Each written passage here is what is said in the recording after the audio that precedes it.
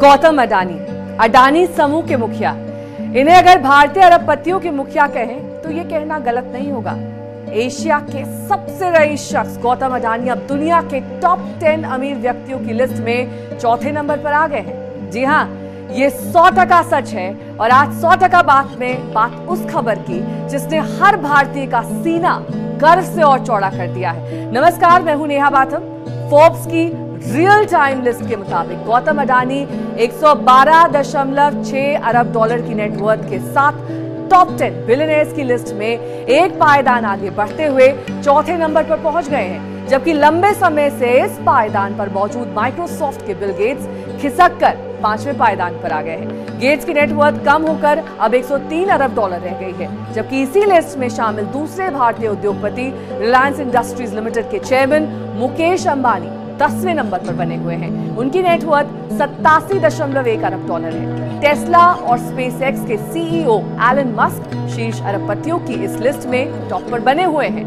230.4 अरब dollar net worth के साथ Musk दुनिया के सबसे अमीर शख्स हैं। वहीं फ्रांस के अरबपति बर्नार्ड अर्नोल्ट एक अरब डॉलर के साथ दूसरे और अमेजॉन के जेफ बेजोस एक अरब डॉलर के साथ दुनिया के तीसरे सबसे अमीर व्यक्ति हैं।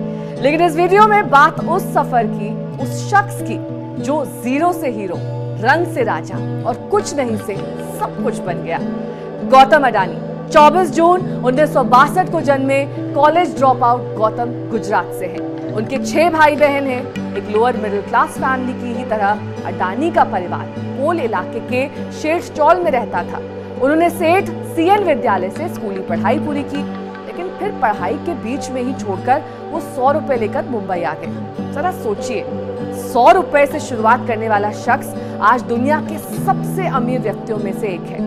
ज़ाहिर है, मुश्किलों भरा सफ़र था, लेकिन अपनी राह में आने वाले हर कांटे को अडानी ने फूलों में तब्दील कर दिया। गौतम हिंद्रा ब्रदर्स में तीन सौ रुपए की सैलरी पर नौकरी करने लगे। उन्होंने संघर्ष किया और 20 साल की उम्र में हीरे का ब्रोकरेज आउटफिट खोल लिया। पहले साल कंपनी से खूब फ़ायदा हुआ भाई मनसुख लाल के कहने पर गौतम मुंबई से अहमदाबाद आ गए और उनकी प्लास्टिक की कंपनी में काम करने लगे। साल उन्नीस सौ अट्ठासी में गौतम अडानी ने अडानी एक्सपोर्ट लिमिटेड की नींव रखी। शुरू में कंपनी ने एग्रीकल्चर कमोडिटीज के सेक्टर में काम किया।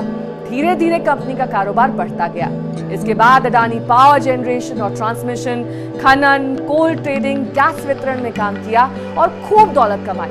साल उन्नीस में अडानी की कंपनी को मुद्रा पोर्ट के संचालन का कॉन्ट्रैक्ट मिल गया। इसके बाद अडानी का कारोबार तेज़ी से फलने फूलने लगा। मुद्रा पोर्ट आज निजी क्षेत्र का सबसे बड़ा पोर्ट बन गया है। गौतम अडानी ने साल उन्नीस में अडानी पावर लिमिटेड बनाई। अडानी ने जहाँ भी हाथ डाला, कामयाबी मिली। इसके बाद साल 2010 में उन्होंने इंडोनेशिया में माइनिंग का कारोबार शुरू किया। साल 2008 में वो अरबपतियों की लिस्ट में शामिल हो गए। साल 1977 में गौतम के पास एक स्कूटर था लेकिन आज उनके पास तीन निजी जेट्स हैं। एक रिपोर्ट के मुताबिक अडानी के पास 2009 Bombardier Challenger 605, 2013 Embraer Legacy 650, Hawker 850 XP और अगस्ता वेस्टलैंड हेलीकॉप्टर भी है। इसके अलावा अडानी के पास BMW 7 सीरीज़ लिमोजीन एक रोल्स रॉयस घोस्ट और एक फरारी है।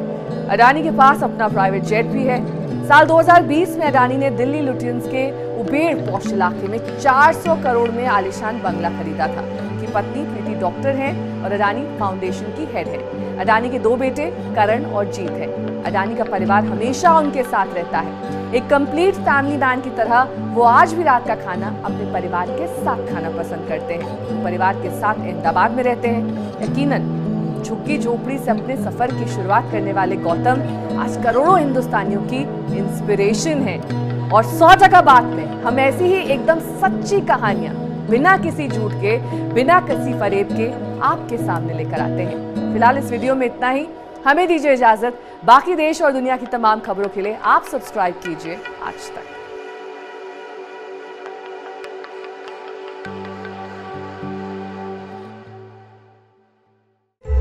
कौन सी साजिश, कौन सा गुनाह, कब हुआ और कहाँ?